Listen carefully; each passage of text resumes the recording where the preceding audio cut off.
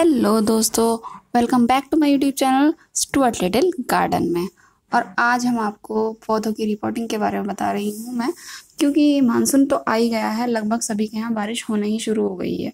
तो आप भी इस टाइम पे अगर पौधों को रिपोर्ट करना चाहते हैं, जो कि पूरे साल आपको नहीं चेंज करना पड़ता है तो ये टाइम बहुत अच्छा है। और ऐसी वीडियो देखने के लिए आप प्लीज़ हमारे चैनल को सब्सक्राइब कर लीजिएगा। वीडियो पसंद आए तो प्लीज़ लाइक ज़रूर कर दीजिएगा। कोई भी क्वेरी हो तो उसके लिए कमेंट ज़रूर कर दीजिएगा। तो फिर हमने इसमें जो सॉइल बना रहे हैं, वो पूरी ड्रेन के लिए अच्छा ड्रेनेज बनाने के लिए बना रही हूँ। मैंने इसमें मिट्टी ली है और उसमें इतना ही मैंने खाद लिया है, जो कि गोबर की खाद है, और इतना ही मैंने थोड़ा सा ही पोर्शन मैंने इसमें राख ली है। और अब ड्रेनेज होल के ऊपर मैंने छोटे छोटे कंकड़ रख दिए हैं। तो आप ऐसा ज़रूर कीजिएगा, कोई भी गमला हो, प्लास्टिक का हो या मिट्टी वाला हो, या फिर आपने कोई भी प्लास्टिक कंटेनर लिया हो तो इसमें ये मैंने सेम मात्रा ही मैंने ली है इसमें। तो आप भी ऐसे ही मिट्टी तैयार कीजिएगा, जिससे ये आपको पौधों जल्दी ग्रो हो जाएँगे, क्योंकि कटिंग के हिसाब से भी आप लगा सकते हो इस टाइम पे। या फिर जिनकी एरियल रूट्स आती हैं, आप उन प्लांट को भी एक से डबल या ट्रिपल बना सकते हो, ज़्यादा संख्या बनाने के लिए ये टाइम बहुत ही अच्छा है। फिर जहाँ आप किसी भी प्लांट की कर रहे हो तो मैं यहाँ पर सिंगोनियम प्लांट की कर रही हूँ। तो सिंगोनियम प्लांट बहुत ही अच्छा होता है, ये एयर प्योरीफायर होता है। तो ये प्लांट हम लगा रहे हैं, क्योंकि मुझे ये प्लांट काफ़ी दिनों से लगाना भी था मतलब कि इसकी मिट्टी चेंज करनी थी तो इसको मैंने बहुत अच्छे से इसको निकाल दिया है पौधे से गमले से, और अब हम इसको रिपोर्ट कर रहे हैं। और एक की बजाय मैं डबल कंटेनर में इसे लगा रही हूँ। तो इसके लिए मैंने दोनों में ही मिट्टी रख ली है। तो फ्रेंड्स, आपको वीडियो कैसी लगती हो, प्लीज़ ज़रूर बताइएगा।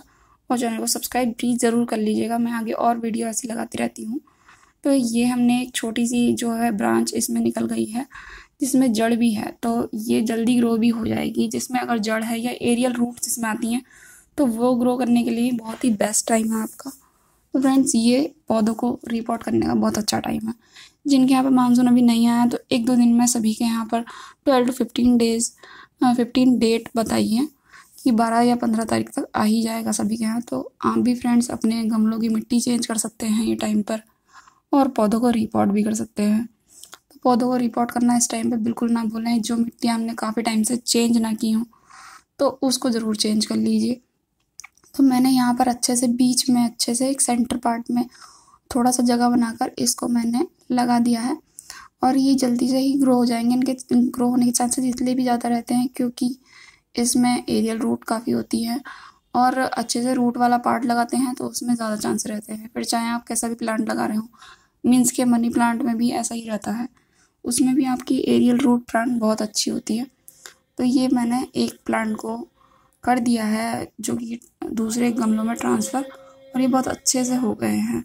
नेक्स्ट प्लांट हमारा ये है जो मैंने एक टीन के कन जो बॉक्स में लगाया है ये काफ़ी टाइम से मैंने चेंज भी नहीं किया था तो मैंने सोचा इसको भी चेंज कर दिया जाए। और ये भी सिंगोनिया का ही प्लांट है जो कि ग्रीन वाला है। आ, तो इसकी पत्तियाँ थोड़ी सी जल भी गई थी क्योंकि गर्मी अभी पीछे काफ़ी ज़्यादा पड़ रही थी।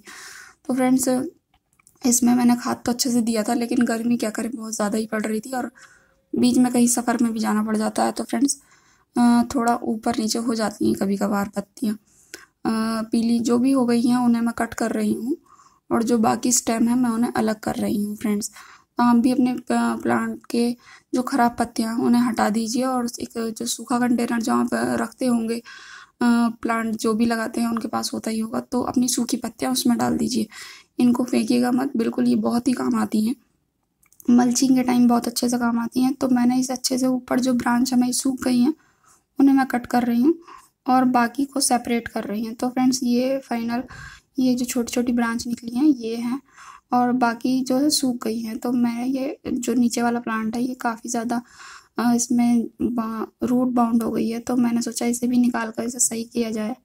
तो फ्रेंड्स ये मैं चेंज कर रही हूँ इसको कंटेनर को। ये जो टीन का था, इसमें काफ़ी बेबी प्लांट भी ग्रो हो रहे हैं। चूँकि मानसून आ जाता है तो इसी टाइम पे बेबी प्लांट बहुत ही ज़्यादा अच्छे से ग्रो हो जाते हैं।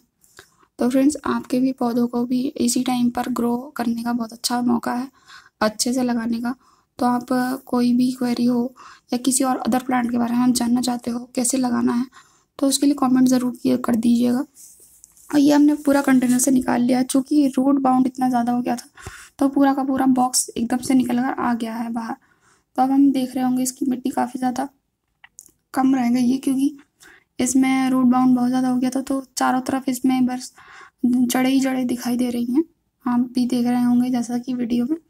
तो इन्हें मैंने साफ़ कर रही हूँ पूरी जड़ों को और जो भी जो पे प्लांट निकलेंगे छोटे छोटे भी, मैं उन्हें भी सभी को सेपरेट करके, जो कि बहुत सारे बन जाते हैं तो मैं वो करने जा रही हूँ। तो इसमें मेरे काफ़ी सारे प्लांट बन जाएँगे फ्रेंड्स तो जिससे क्या होता है, मेरे एक प्लांट होने के बाद भी अब मेरे पास काफ़ी सारे प्लांट हो जाएँगे और एक प्लांट लवर के लिए और क्या ही चाहिए? जिससे एक के बाद ढेर सारे प्लांट बन जाएँ।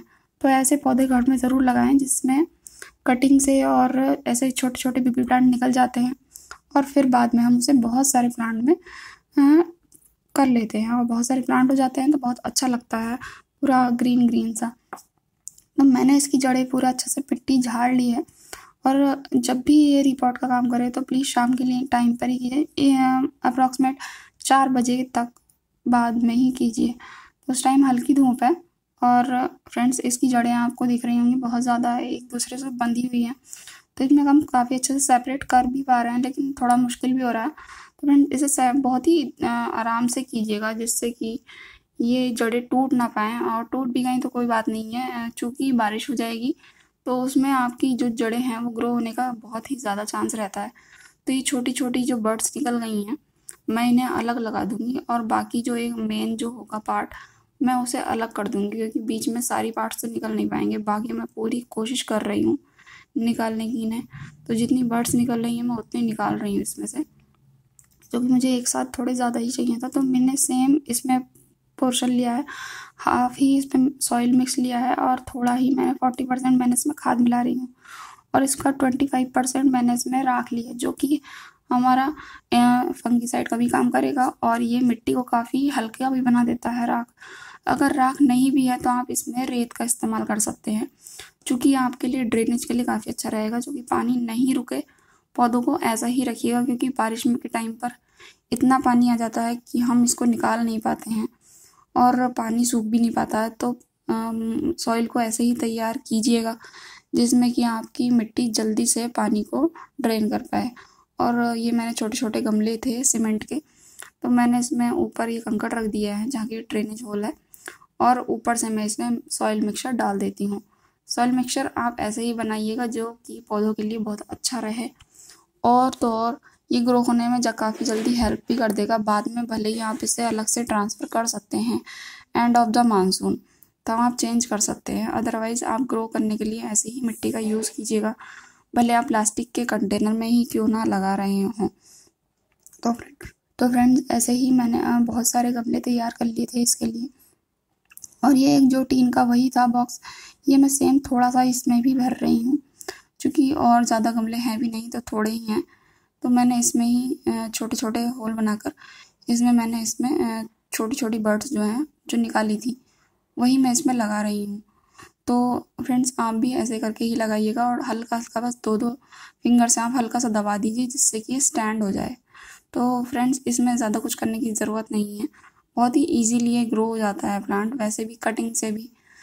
बस एक आपको जड़ वाला पोर्शन चाहिए होता है जो कि नोड पर होता है। तो ये प्लांट उगाना बहुत ही ईजी है तो आप सिंगोनिया ज़रूर उगाइए। जो मेन है जड़ का पोर्शन जिसमें सारी जो स्टेम है कट गई है, लेकिन लीव्स तो नहीं है कोई भी, लेकिन मैं इसको फिर भी लगा रही हूँ क्योंकि मेन पोर्शन इसी में ही था। तो मैंने सोचा इसे भी लगा लेती हूँ और ये अच्छे से ग्रो भी हो जाएगा, क्योंकि ये मेन पार्ट था इसका। तो जो इसमें मैंने इसे भी हल्का जड़ से दबा दिया है इसे अच्छे से, और जो ये दो तीन स्टेम है बस यही निकल रही हैं। तो मिट्टी में अच्छे से दबाइएगा इसे और सॉइल मिक्सचर आपका दिख ही रहा होगा आपको। ये काफ़ी मतलब फरी फरी सा है, बहुत ही सॉफ्ट है, जो कि हल्के से ही ये दब रहा है। तो आप आराम से इसको दबाइए। अच्छे से और इसमें अच्छे से ही वाटरिंग कीजिएगा, जो कि जड़ों को हार्म ना करे और इजीली आपकी ब्रांच जो है वो ग्रो कर जाए। तो फ्रेंड्स इतनी वीडियो पसंद आई तो प्लीज़ अब लाइक कर दीजिएगा और चैनल पर नए आए तो प्लीज़ चैनल को सब्सक्राइब ज़रूर कर दीजिएगा। हम प्लांट के बारे में और भी वीडियो लाते रहते हैं और बीजों को ग्रो करने का या फिर कटिंग से कैसे उगाना है किसी प्लांट को, मैं आगे और भी वीडियो लाती रहूँगी। तो फ्रेंड्स प्लीज़ लाइक कर दीजिएगा और चैनल को सब्सक्राइब कर दीजिएगा, प्लीज़। ये बिल्कुल फ्री है। आप प्लीज़ चैनल को सब्सक्राइब ज़रूर कर दीजिएगा और कोई भी कमेंट करना हो तो प्लीज़ कमेंट सेक्शन में ज़रूर कीजिएगा। तो मैंने ये सारे प्लांट अब इसमें लगा दिए हैं और ये तीसरे प्लांट में भी मैंने लगा दिए हैं। चूँकि मैंने ये लगाए थे तो एक मग में मैंने पानी में रख दिए थे, जिससे क्या है, इनका मॉइस्चर ना चला जाए। तो जब भी कटिंग लगाएँ या फिर कोई भी ऐसा एरियल प्लांट लगाएँ तो उसे थोड़ी देर प्लांट को वाटर में ज़रूर रख दीजिए जिससे वो ठीक हो जाए और अब उसी प्लांट पानी को मैं हल्का हल्का इसमें छिड़क रही हूँ। जो कि पानी कभी आप प्लांट को कभी भी लगाएँ, चाहे विंटर्स में लगाएँ या मानसून टाइम पर, आप हल्का हल्का वाटरिंग ज़रूर कर दीजिए। और अभी ये मिट्टी अगर बैठ भी जाए तो थोड़ी मिट्टी मैंने बचा रखी है और एक ये दूसरा प्लांट भी तैयार हो गया है। तो फ्रेंड्स इसमें जो है, जो मेन प्लांट से दूसरा वाला जो था, जिसमें लीव्स आ रही थी, ये मूव हो गया है।